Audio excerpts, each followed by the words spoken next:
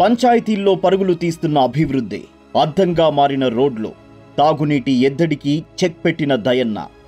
దయన్న అంటేనే అభివృద్ధి అభివృద్ధి అంటేనే దయన్న. పల్లెల అభివృద్ధే దేశాభివృద్ధిని సూచిస్తుంది.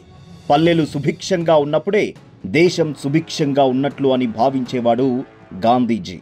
గ్రామ స్వరాజ్యం కోసం కలలు కన్నాడు గాంధీజీ. మహాత్మా గాంధీ ఆశయాలను నేడు నిజం చేసి చూపిస్తున్నాడు మన దయన్న.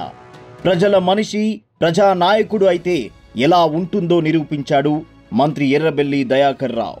పంచాయతీరాజ్ మంత్రిగా ప్రమాణ స్వీకారం చేసినప్పటి నుండి రాష్ట్రంలో గ్రామాల అభివృద్ధికి నిరంతరం కృషి చేస్తున్న దయన్న ఇక తన స్వంత నియోజకవర్గమైన పాలకుర్తిని ఎలాంటి అభివృద్ధి పథంలో నడిపిస్తున్నాడో ఊహించుకోవచ్చు.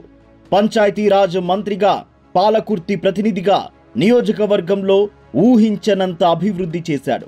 దాదాపు పన్నెండు వందల కోట్ల నిధులను ముఖ్యమంత్రి ద్వారా కేటాయింపజేసుకుని గ్రామాల్లోని రోడ్లను అభివృద్ధి చేశాడు. పీఎంజీవై కింద నూట ఎనభై ఒక్క కిలోమీటర్ల డబుల్ రోడ్లు నూట నలభై మూడు కోట్ల ఇరవై నాలుగు లక్షలతో పూర్తి చేశారు. పద్దెనిమిది కోట్ల ముప్పై తొమ్మిది లక్షలతో అదనంగా ఆరు బ్రిడ్జిలను మంజూరు చేయించాడు.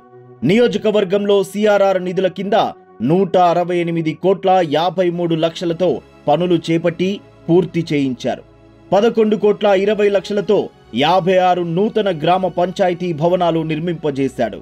ఎంఆర్ఆర్ కింద డెబ్బై మూడు కోట్ల డెబ్బై ఒక్క లక్షలతో నూట నలభై తొమ్మిది కిలోమీటర్ల రోడ్లను పూర్తి చేశారు. యాభై కోట్లతో ఎస్డీఎఫ్ మరియు సిడిపి ద్వారా కుల సంఘాలకు భవనాలు కులదేవతల గుడులు కరెంటు సౌకర్యం కల్పించాడు.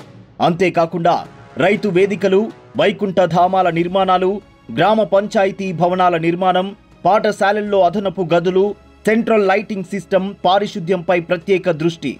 ఇలా చెప్పుకుంటూ పోతే లిస్ట్ చాంతడంత ఉంటుంది. ఇంతటి అభివృద్ధిని మా జీవితంలో చూడలేదని వృద్ధులు తమ అనుభవాలను చెప్తున్నారు. దయన్న లాంటి నాయకులు ఉంటే ఎప్పుడో అభివృద్ధి చెందేవారమని అంటున్నారు. ఇదంతా దయన్న వల్లే సాధ్యమైందని ఆశీర్వదిస్తున్నారు. దయన్ననే గెలిపించి గ్రామాలను మరింత అభివృద్ధి చేసుకోవాలని సూచిస్తున్నారు. జై దయన్న జై జై దయన్న.